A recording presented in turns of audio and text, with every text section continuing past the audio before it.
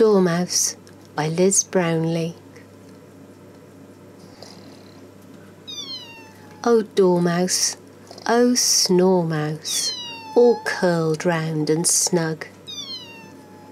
Who could not love you? You look like a hug.